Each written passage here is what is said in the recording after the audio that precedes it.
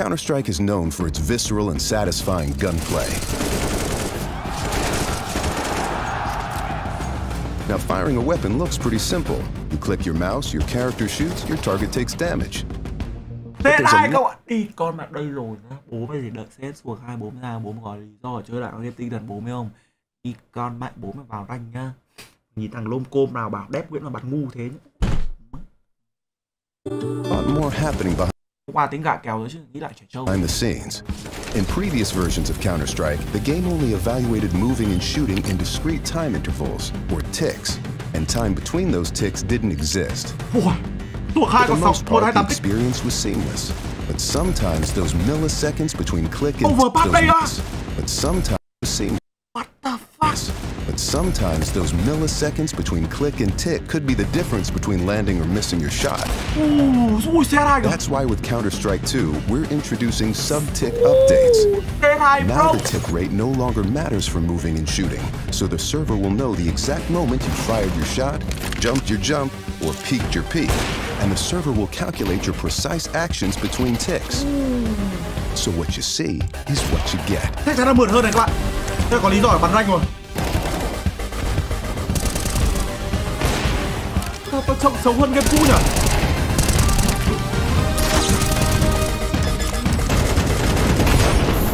Hoa ca trông lờ bao thế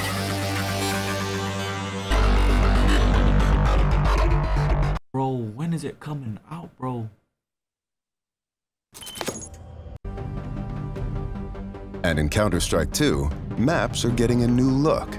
But don't worry, you can still bring along your countless hours honing strategies and exploiting every corner and crevice.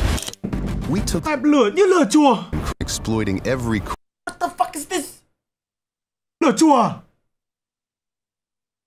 Lửa còn tím Các kiểu Làm thế đéo nào Free Fire The fuck is this shit? corner and crevice.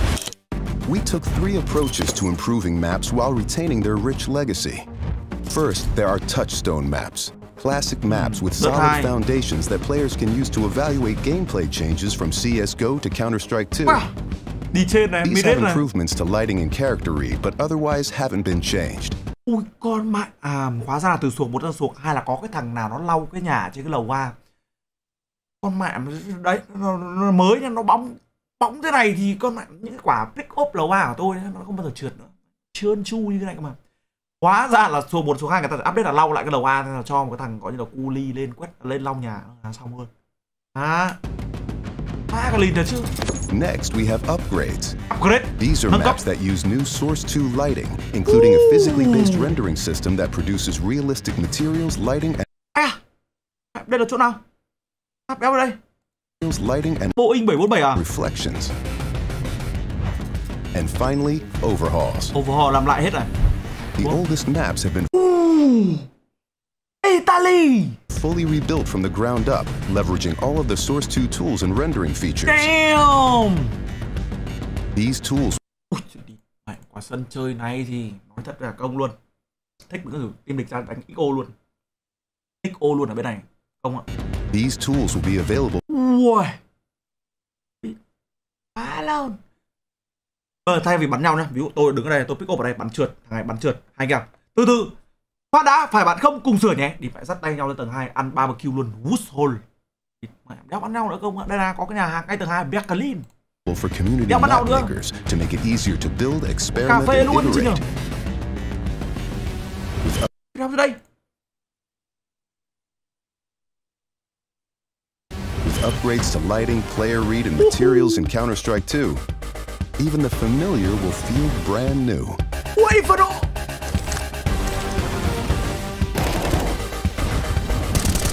Địt mà đáng chơi thế nhở Địt mẹ thề Ông đéo biết đâu nhưng cảm giác những người kiểu mẹ chơi Z, Làm Z địt bao nhiêu năm nó đéo có một cái thay đổi gì không ạ Nên là đợi bao giờ ra một cái phần gì mới là kiểu Làm lại toàn bộ ấy, Cho người chơi người ta có cảm giác người ta muốn chơi lại thì mẹ thề kiểu chờ một đít là ông là chơi Z biết đi mẹ năm đéo có một cái gì mới luôn. Điều thay mắt là đéo có cái gì rồi. Tức là tôi tôi nói thật là bây giờ game set 2 này cũng nó cũng rơi vào kiểu đồ họa là giống ờ ờ, cái gì nhỉ béo gì nhỉ uh, ờ, game gì uh, Rune of Survival rồi đấy. Tầm này. In a result, smoke Invent vẫn được giữ rõ become ràng. a cornerstone of team đôi khi tactics. dao còn đẹp hơn. Counter-Strike 2's new game engine, we've evolved smokes and made them dynamic. Smoke cái smoke của cái CS2 xuống 2 trông hoạt hình vậy như kiểu biệt đội thần tốc cái xưa nhỉ what the fuck trông như Valorant ừ trông nó đeo thực tế kiểu gì nhỉ map thì ừ thì đôi khi là trông nó cũng sắc nét hơn đấy. Kiểu uh, shader các kiểu nó nét hơn này. Thùng tiếc đi theo các thứ ví dụ ngày xưa mấy cái thùng nó không chi tiết như này ấy. Grenades now create volumetric 3D objects that live in the world. Now, not only do all players see the same smoke à không thực ra nó xịn hơn đấy. Không cái vừa rồi là cái vừa rồi là bản 3D cái vừa rồi là bản 3D thực ra là tức là smoke ngày xưa là mở ra cả nó bụp lên cả cái này bây giờ nó xì lên từ từ ừ, thì nó giống ngoài đời thật hơn. Regardless of position, but the smoke can interact with the environment in interesting ways. smoke có thể tương tác với môi trường trong nhiều cách rất thú vị. Cái gì? Tức là ví dụ là nắng. Nắng thì smoke nó sẽ nguội còn mưa thì smoke nó bị dập à?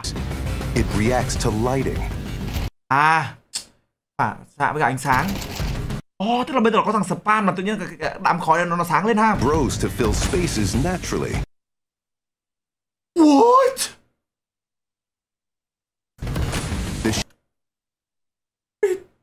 Đây What? shape of the smoke cloud can be pushed and carved by bullets and grenades. In Counter-Strike 2, smoke Ném quả hết Là bụi Súng bay lên thế là nó mất nửa Quả khói À grenades provide even more tactical opportunities. Bắn qua smoke là mất khói They're just going to look Mà lát thì sao? and play better.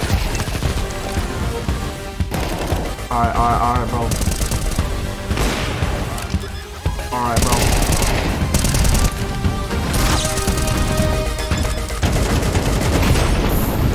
Yeah, Free Fire sống dậy thành huyền thoại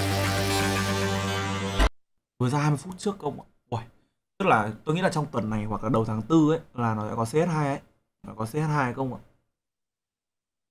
Mốc này. Apps that use new cộng đồng nói gì? Ờ that molotov tâu yes I agree. It looks like free fire. Garena mobile. Mẹ tôi đồng ý với cả ý kiến của đi Ineco ấy. Mẹ quả lửa đéo khác thì lửa chua đầu qua thì sáng hơn.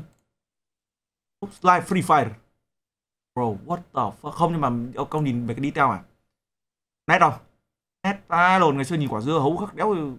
Rebuilt from the ground up, leveraging all of the source cái 2 tools and rendering features. mỗi tội là đéo bao giờ được vào đưa vào chơi không hiểu không tại vì là tại vì là cái map đấy là map giải cứu con tin ấy.